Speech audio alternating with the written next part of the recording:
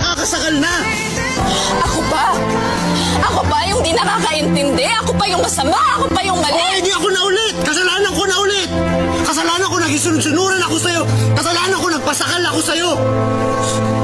Okay? Kung mahal mo ko, may intindihan mo ko. So pati pagmamahal ko kay questionin mo? Wow!